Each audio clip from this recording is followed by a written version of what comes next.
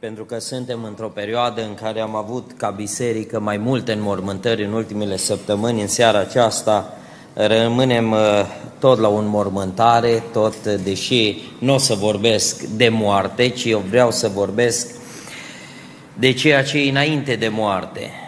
Ne apropiem de pasajul acesta care îl arată pe Saul la finalul vieții, un om chemat de Dumnezeu, un om cu o chemare specială, un om cu o statură specială, zice că ăsta era mai înalt ca toți. Ca mine, cred că cu două capete, trei. Zice că peste cei mai înalți, el era cu un cap mai înalt. Eu cred că mă uitam foarte în sus la el. Cu o chemare specială, o ungere specială. Și totuși vedem că e unul dintre cele mai dureroase pasaje ale Vechiului Testament. Primul împărat al lui Israel moare într-un mod tragic.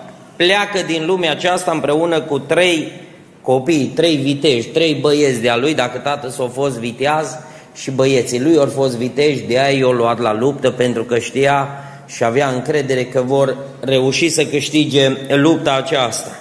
Dar vreau să încep cu o întrebare. Este posibil să fii un viteaz a Domnului și să ajungi să fii învins pe munții din Gilboa? Se poate să fii un viteaz a Domnului, să ai o chemare specială, să ai o înălțime specială și totuși Gilboa să te înfrângă? Pentru că ne uităm la pasajul acesta și știți ce ar vrea să ne rămână în mintea noastră? Să ne uităm la Saul, dar vrea să ne uităm la, și la noi. Realitatea îi că pe toți ne așteaptă Gilboa într-o zi. Toți vom ajunge vrând sau nevrând. Vom ajunge să dăm cea mai importantă bătălie a vieții noastre. Nu știm, unii ori vor da mâine, alții poate o dau astăzi, alții poate săptămâna viitoare sau anul viitor. Pe toți, dacă uh, uh, și-ar vrea să înțelegem lucrul acesta, pe toți ne așteaptă Gilboa, locul unde se decide cea mai mare bătălie a vieții noastre. De aceea ne uităm în seara aceasta, în pasajul acesta și știți ce vedem? Vedem că Gilboa era locul apelor agitate, era un război agitat și spune versetul 3, Saul a fost prins în toiul luptei. Erau multe lucruri care erau tulburi, erau agitate. Ă, Saul a pierdut lupta aceasta, cea mai mare luptă, pentru că el nu mai avea energie. Uitați-vă, zice că în toiul luptei, când el trebuia să lupte mai bine, el nu mai a avut energie. Știți de ce? Că și-a mâncat energia fugind după David. Înțelegeți? Ți-ai risipit energia căutându-l pe David, când pe un munte, când pe altul. Ți-au spus că e pe muntele cu tare, ai luat sute de oameni, parcă mi-l imaginez pe Saul, un om așa mai, mai voinic, cu mantaua, că nu renunța la manta.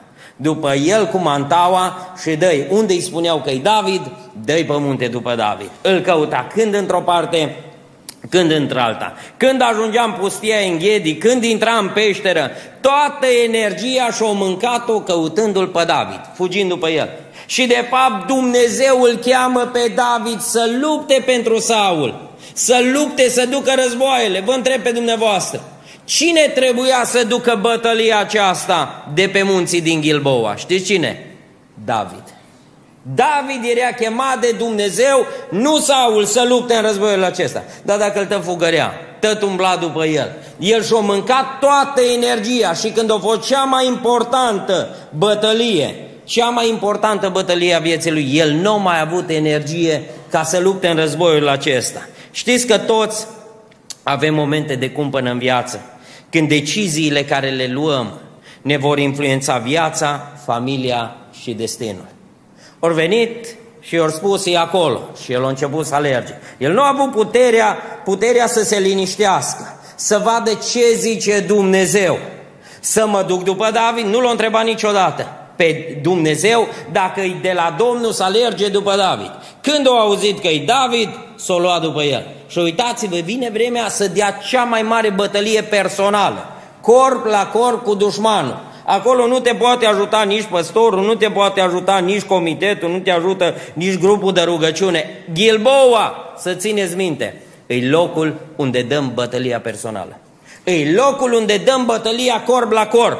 Contează dacă ești liniștit în vremea aceea. Să înțelegi, trebuie să lupți Sau nu trebuie să lupți? Știți că și David a avut momentul de cumpănă a vieții lui, toți avem momentul de cumpănă. Când luăm decizia cea mai bună și după decizia bună care am luat-o, toată viața continuă sub binecuvântare. Sau ajungem să luăm decizia rea în momentul de cumpănă și toată viața să fie un dezastru și finalul vieții să fie ca finalul lui Saul.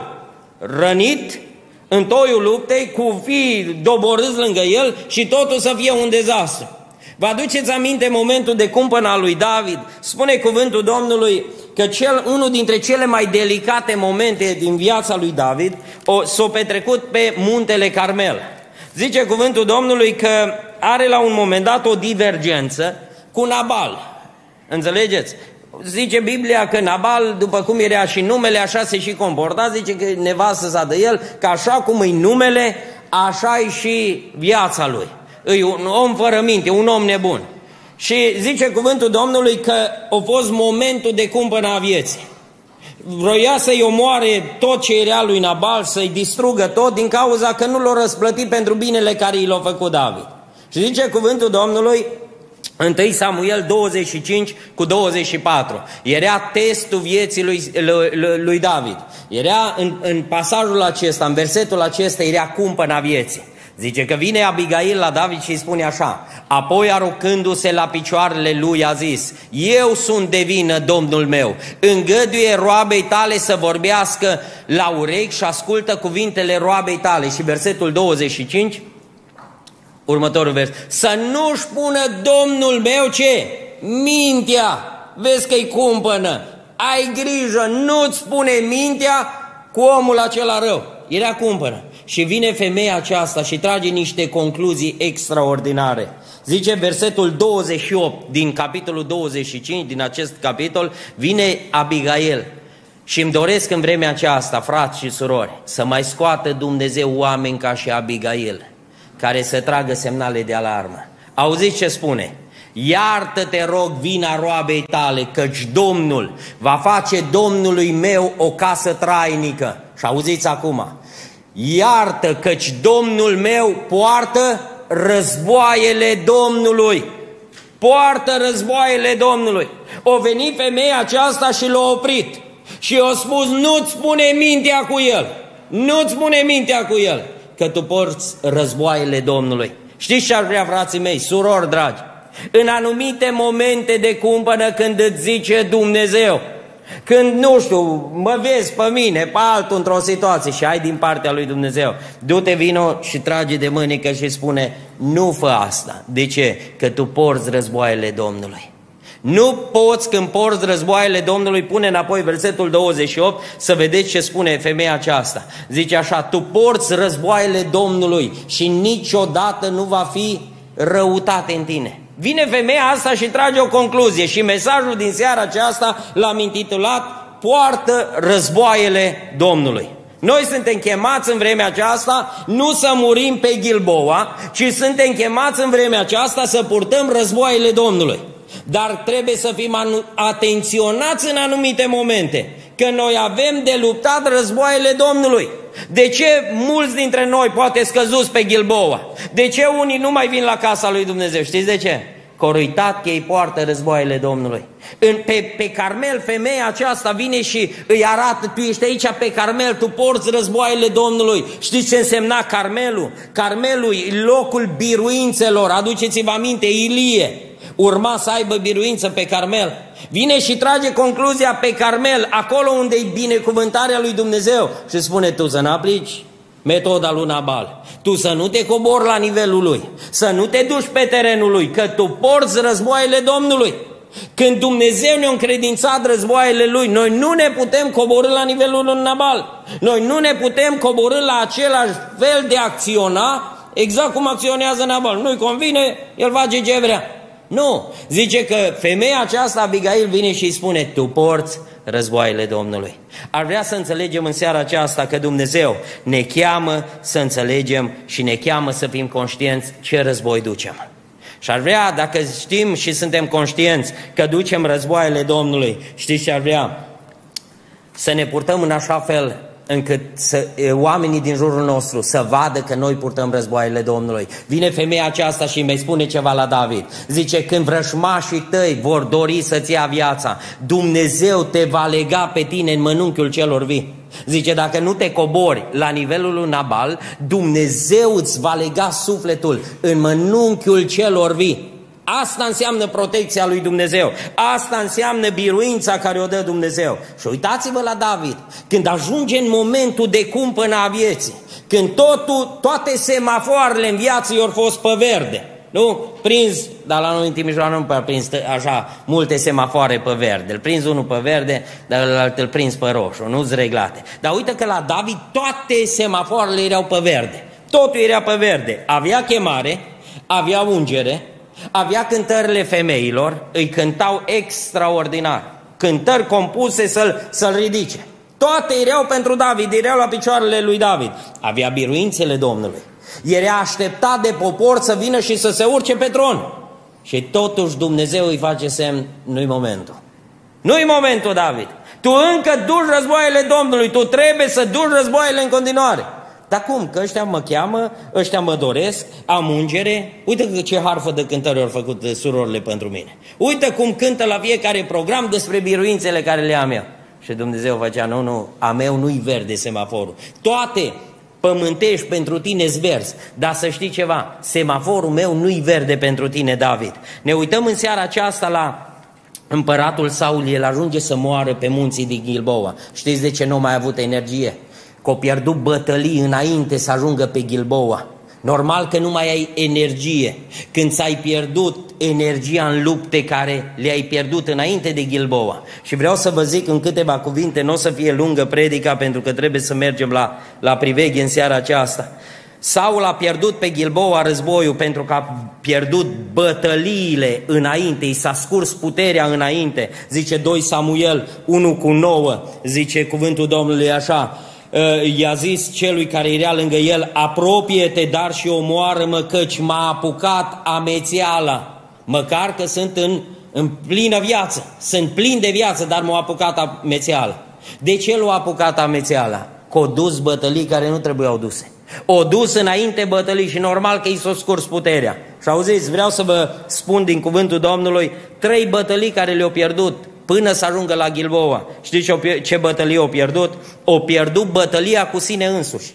O pierdut bătălia cu sine însuși. Zice cuvântul Domnului 1 Samuel, capitolul 15, versetul 16 și 17, că Dumnezeu îi transmite un mesaj prin Samuel, îi transmite lui Saul un mesaj. Samuel i-a zis lui Saul, stai și îți voi spune, îți voi spune ce mi-a zis Domnul asta noapte. Stai să-ți spun ce bătălie mi-a zis Domnul că ai pierdut. Și Saul i-a zis, vorbește.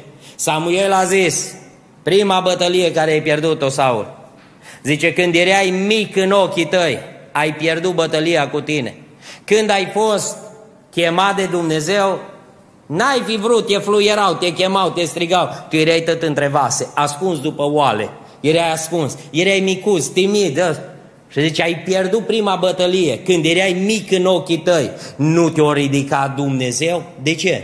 Pentru că ți-ai văzut starea în care ești. Dar uitați-vă, zice Biblia că ăsta pierde prima bătălie cu el însuși. Ajunge la un moment dat să creadă că el e bun de mare preot și pierde bătălia, nu se mai vede mic. Noi și la 70 și la 80 de ani, noi trebuie să recunoaștem micimea noastră și dependența noastră de Dumnezeu. Noi și la 80 de ani avem nevoie de Dumnezeu și la 90 de ani, cât suntem în viață, noi suntem mici, El e mare. Binecuvântat să fie numele Domnului. Dar uitați-vă, prima bătălie care o pierde, își pierde relația cu Dumnezeu pentru că pierde prima bătălie cu sine însuși. De aceea în vremea aceasta știți la ce ne cheamă Dumnezeu? Să ne păstrăm poziția la care ne-o chema Dumnezeu să ne păstrăm poziția la care ne-a chemat Dumnezeu. Să nu pierdem prima bătălie. Al doua bătălie care o pierdut-o, o pierdut bătălia cu mândria. După ce o pierdut bătălia cu el însuși, o zis, da, eu oricum, acum observ și eu, după 10 ani de împărăție, observ eu că mai înalt ca ăștia. Deși dacă mă tun la chelie, tot mai înalt ca ăștia. Zice, opa, că nu sunt așa mic. Opa, că nu mai trebuie să stau între, nu mai trebuie să cer sfat, nu trebuie să mă mai sfătuiesc, nu trebuie să mai întreb pe Domnul. De ce? Că mai înalt ca toți. Îți mai înalt, poți să fii mai înalt, dar mai mare ca toți nu ești. Pentru că e cineva mai mare și ca tine și ca mine, ca oricare dintre noi. Și ăsta e Dumnezeu. Binecuvântat să fie numele Domnului. A doua bătălie care o pierde Saul, pierde bătălia cu mândria. Zice cuvântul Domnului 1 Samuel 22 cu versetul 6. E un cuvânt extraordinar. Tot îl urmărea pe David. Și zice cuvântul Domnului, Saul a aflat că David și oamenii lui au fost descoperiți. Și auziți acum, Saul ședea sub Tamaris, la Ghibea, pe înălțime, avea sulița în mână și toți slujitorii lui stăteau lângă, lângă el. Nu ce mai trebuie? Când e, stai pe tamaris, da? Când e, ești pe înălțime, stai sub tamaris, când ești pe înălțime, când ai sulița în mână, când toți slujitorii stau pe lângă tine, când ai oameni care ești gata să sară în apă, în foc pentru tine, pe ce-ți mai trebuie? Dom'le, Păi de acum, eu, eu sunt la un nivel. Eu sunt chemat de Dumnezeu. Păi eu sunt prezbiter în biserica Elim. Știi ce zice Dumnezeu? La orice nivel de slujire, la orice nivel de chemare, diavolul vine să lovească cu mândria. Știi ce zice? Cum? Pe prezbiter nu-i lovește. Eu sunt Dani Popa, pe mine nu mă lovește. Știi ce zice Biblia? Că diavolul caută prin mândrie pentru că asta l-a răpus pe el în cer. Prin mândrie caută să rupă relația dintre noi și Dumnezeu. Când ne vedem sub tamariscul nostru, când avem săulița în mână, când avem uh, oameni lângă noi care ne, ne uh, propulsează înainte, știi ce se întâmplă? Suntem biruiți și pierdem lupta cu mândria. Saul ajunge să fie biruit pe, pe, pe munții din Gilboa, pentru că a pierdut bătălia aceasta. Vine împăratul David în psalmul 19 cu versetul 13 și zice ce îi spune lui Dumnezeu în rugăciunea lui. Zice, Doamne, păzește-mă, păzește-mă, ferește-mă, Doamne, păzește de asemenea pe robul tău de, de mândrie. Când ne-am rugat ultima dată, Doamne, păzește-mă de mândrie. Când ai recunoscut ultima dată să spui, Doamne, cred că mă paște un duc de mândrie. Nu ca să recunoști că-ți mână. Foarte greu. Dar vă spun ceva, și pe diacon, și pe prezbiter, și pe păstor, și pe proroc, și pe oricine, oricine îl paște lupta cu mândria. Ni se oferă un să stăm sub un tamariz, ni se oferă o suliță în mână, ni se oferă la un moment dat o mulțime mai mică sau mai mare de oameni lângă noi, dar vine David și spune în Psalmul 19, păzește-mă de mândrie să nu fiu vinovat de, de păcate, de păcate mari, să nu fiu vinovat, păzește pe robul tău. A doua luptă care o pierde uh, Saul, pierde lupta cu mândria. Mai are o luptă care, care o pierde, știți ce pierde? Lupta de a fi în voia lui Dumnezeu. El nu mai căuta când ai pierdut atâtea lupte, când ai pierdut lupta cu tine însuți, când ai pierdut lupta cu mândria, automat pierzi lupta și cu voia lui Dumnezeu. Când, ești, când cauți cu încăpățânare ă, tamariscul, sulița, oamenii și așa mai departe, știi ce se întâmplă? Nu mai cauți nici voia lui Dumnezeu. Că ai tamarisc, ai suliță, ai atâtea resurse. Păi nu mai ai nevoie. Dacă toate lucrurile merg așa după, după principiul ăsta în care se merge în perioada aceasta, pe păi la ce să mai întreb pe Domnul? La ce să mai cauți pe Dumnezeu? Dar uitați-vă, David dacă o biruit în viața de slujire, știți de ce o biruit? Orice făcea era dependent de ce zice Dumnezeu. Întotdeauna el căuta voia lui Dumnezeu. Întreba, Doamne, mă dau ăștia în mâinile lor. Și au zis, Domnul te dă. Nu, zice, am înțeles. Saul nu întreba. Pentru că era cuprins, prea, avea, era prea mândru ca să se mai coboare să-L întrebe pe Domnul. El a pierdut lupta de a fi în voia lui Dumnezeu de multă vreme. Știa care e voia lui Dumnezeu. Saul știa care e voia lui Dumnezeu. Dar știți care era problema? Nu mai avea putere să accepte voia lui Dumnezeu. Că cei mai mulți din noi cunoaștem care e voia lui Dumnezeu. Știm ce vrea Dumnezeu de la noi. Dar știți ce? Nu mai avem puterea să acceptăm care e voia lui Dumnezeu. Să-L mai întrebăm pe Dumnezeu, Doamne, ce mai vrei de la mine? Ce vrei de la viața mea? Ce vrei de la, de la slujirea mea? Să știți, când pierzi voie, când ieși din voia lui Dumnezeu, pierzi această bătălie, constați lucruri dureroase în viață. Știi ce constatăm? Și o constatat și, și Saul. O constatat că Dumnezeu tace. 1 Samuel 28, vine cuvântul Domnului, versetul 5 și versetul 6, zice că se apropia lupta aceasta pe munții din Gilboa și căuta pentru că era înspăimântat. Nu știa dacă Dumnezeu îl va însoți sau Dumnezeu îl va părăsi.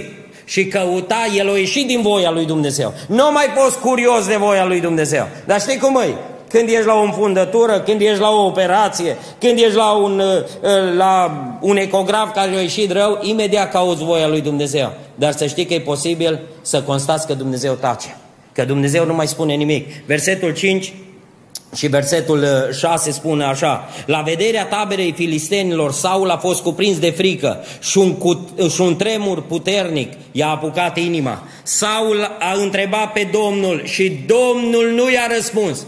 Gândiți-vă, să dormi și să nu-ți dea Domnul niciun vis. Nu i-a răspuns nici prin vise, nici prin urim și nici prin proroci. Nu i-a răspuns nimic. De ce? Pentru că am avut și au avut bătălii pierdute. Când ai bătălii pierdute una după alta, când te vezi sus și ar trebui să te vezi jos, când te vezi cu o mulțime în fruntea unei mulțimi și ar trebui să te vezi dependent de Dumnezeu, știi ce face Dumnezeu? Tace. Zice, ai război, du-te liniștit, nu mă căuta acum. Dacă nu mai căuta să vezi care-i voia mea dinainte, nu mă căuta acum, du-te liniștit la război. Uitați-vă, când ieși din voia lui Dumnezeu, are Saul și avem constatări dureroase, că Dumnezeu tace.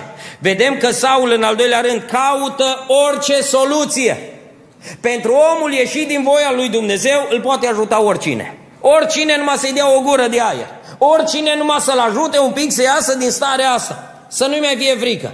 Caută orice soluție și pentru el orice soluție era bună. Nu l-a mustrat conștiința, nu a tremurat, nu a avut nicio bătaie de inimă mai, mai puternică, zice cuvântul Domnului, versetul 7 așa, atunci Saul a zis slujitorilor lui, căutați-mi o femeie care să cheme Duhul morților, să cheme pe cineva care e mort. Uitați-vă, Saul a ieșit din voia lui Dumnezeu, nu era curios de Dumnezeu. Și când ieși din voia lui Dumnezeu, orice soluție ți se pare bună. Cauți orice soluție numai să ți se rezolve problema, numai să ieși, să ajungi la scopul acela. Și uitați-vă, apelează la Duhul morților.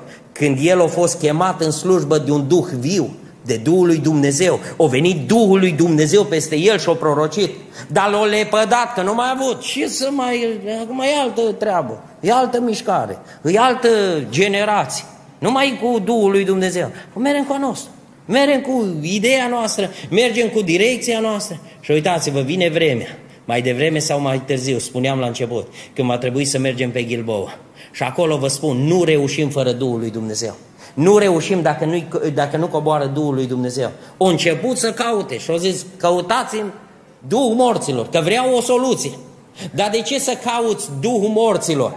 Când aici ai Duhul lui Dumnezeu și Dumnezeu e gata să-ți dea soluție. Dumnezeu vrea să răspundă la cauza ta. Îi cerere de botez, se organizează botez. Duhul lui Dumnezeu vrea să te ridice din starea în care ești. Dumnezeu îți dă șansă. Nu te adânci prin orice soluție să te adâncești în noroi. Când în seara aceasta poți să-i spui lui Dumnezeu, Doamne, mă așteaptă Gilboa, te rog, dă-mi astăzi mână de ajutor. Dăm putere să mă plec pe genunchi, dăm putere să mă smeresc, dăm putere să mă pocăiesc. De ce? Ca să pot să am biruință pe munții din Gilboa. Vedem că omul acesta mai vede ceva când iasă din voia lui Dumnezeu. Ajunge să fie într-o strâmtorare mare. Versetul 15 zice, Samuel a zis lui Saul, pentru ce mai tulburat chemându-mă? Saul a răspuns, sunt într-o mare strâmtorare. Păi bine mă, Saule, tu ce te-ai așteptat?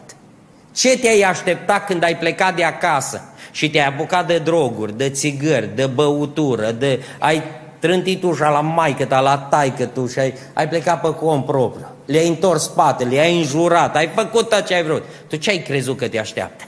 O mare strâmtorare. El o crezut că poate ieși din voia lui Dumnezeu și să meargă așa ca pe autobandă.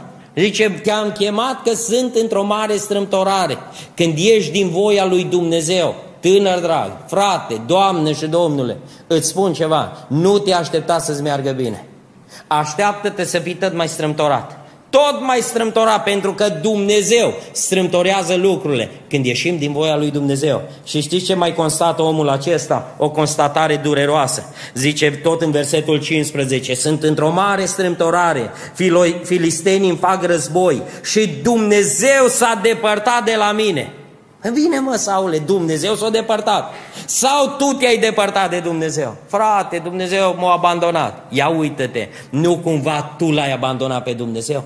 Nu cumva în umblarea noastră cu Dumnezeu, noi am fost cei care am întors spatele și nu ne-am mai adăpostit, n-am mai stat sub mâna lui Dumnezeu, n-am mai așteptat ajutorul lui Dumnezeu, n-am mai așteptat un cuvânt din partea lui Dumnezeu. Și am stat pe sub tamarisc, am stat cu solița în mână, am avut alte soluții. Uitați-vă că Saul vine și spune, Domnul s-a depărtat de mine. Dar zice, nu, Domnul s-a depărtat de tine. Vine în versetul 18 și Samuel îi dă răspunsul. Samuel îi dă răspunsul și spune așa, n-ai ascultat de glasul Domnului. Nu mai te da vina pe Dumnezeu. Așa a îngăduit Dumnezeu. Așa a fost viața. Soarta așa mi-a fost. Nu ți-a fost soarta. Ne-ai ascultat glasul lui Dumnezeu. Uitați-vă rănile care le avem în viață. Le avem dintr-un singur motiv din cauza neascultării de Dumnezeu. Te miri că Saul a fost înfrânt, dar uitați-vă câte bătălii au pierdut înainte. Uite câte biruințe dorea Dumnezeu să-i dea înainte și câte bătălii au fost, au fost pierdute. Și-au mâncat energia și-au pierdut toată, toată vlaga din el urmărindu-l pe David. Și de fapt Dumnezeu l-a pus pe David lângă el să lupte. Asta numai să stea. Numai să stea să mănânce, să ți odihnească și să-l pună pe David la treabă. Dar uitați-vă ce s-a întâmplat. O pierdut bătăliile cu el însuși, o, o pierdut poziția care o avut-o înaintea lui Dumnezeu, o pierdut bătălia cu mândria, o pierdut uh, relația, bătălia, voia lui Dumnezeu, o pierdut-o.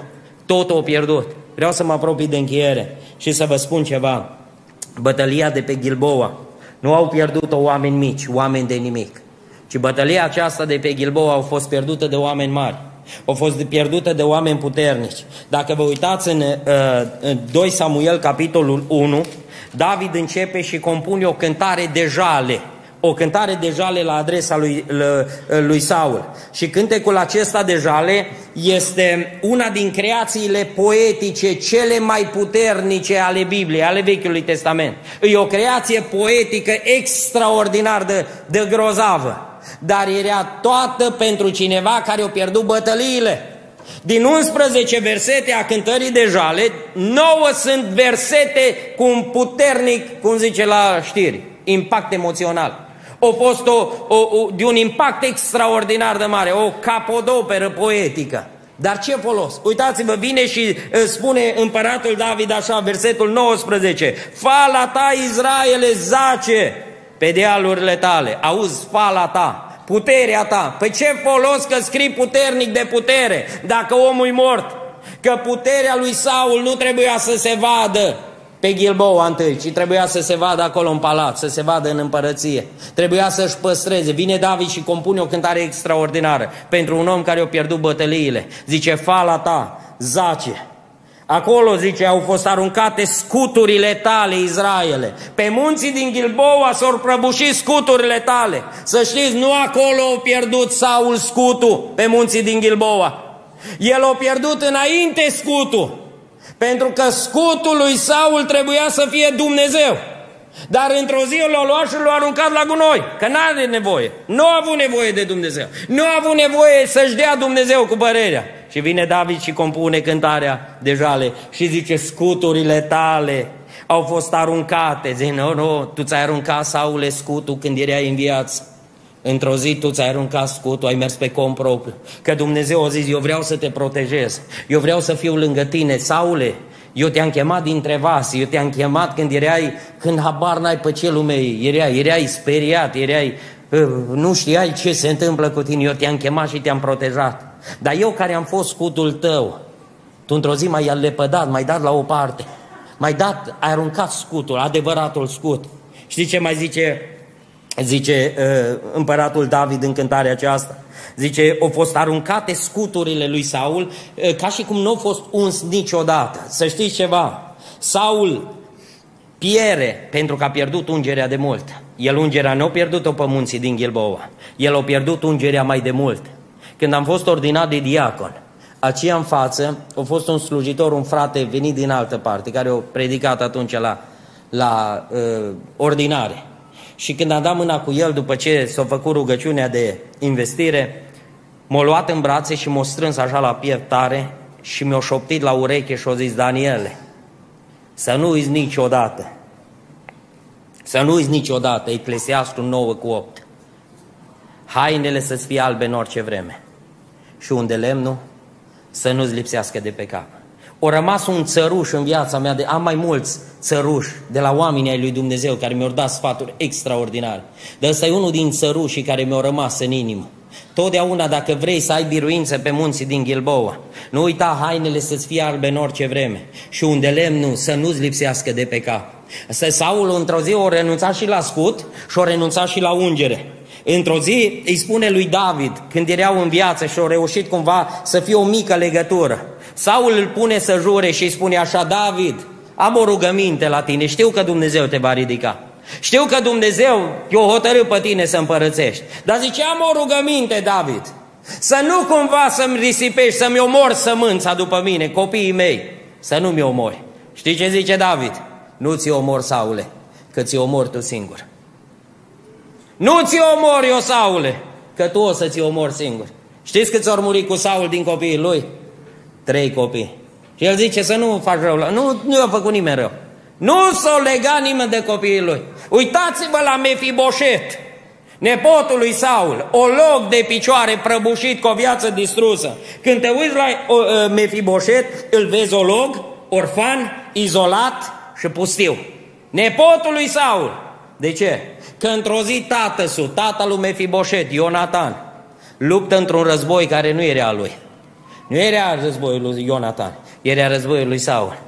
Și merge și luptă acolo. Și copilul lui ajunge olog, ajunge orfan, ajunge izolat și ajunge pustiu. Într-o zi, Saul îi spune să nu-mi omor copiii. Nu ți omor eu, Saule, că ți omor singur. Vreau să te întreb în seara asta, în final, și vreau să închei. De unde ți-ai pierdut puterea? Trăim într-o perioadă în care trebuie să fim îndemnați de la învon să cântăm. Să fim îndemnați de la învon să, să ne rugăm. Aș vrea în seara asta glasul Abigailei să se mai audă în Elim în seara aceasta și să ni se transmită prin Duhul lui Dumnezeu că noi purtăm războaiele Domnului. Noi suntem chemați în vremea aceasta să ducem războaiele Domnului. Saul a fost și el chemat la un moment dat să ducă războaiele Domnului, dar într-o zi a renunțat la scut, a renunțat și a ajuns ușor, ușor să-i scadă puterea. La un moment dat ajunge să dea cea mai importantă bătălie din viața lui, pe munții din Gilboa. Ajunge el cu trei fii ai lui să fie omorâți în aceeași zi. Ajunge, nu mai recitez, nu mai amintesc, să aibă parte de o, de o decapitare, să treacă prin, prin și mort, să treacă prin lucruri groaznice. De ce? Pentru că într-o zi nu mai a avut putere să lupte în adevăratul război. Știți ce aș vrea? Ca Dumnezeu să ne binecuvinteze și să ne ajute să înțelegem că suntem chemați să ducem războaiele Domnului. De aceea spun bisericii Elim în seara asta și spun nouă tuturora, poartă războaiele Domnului. Amin.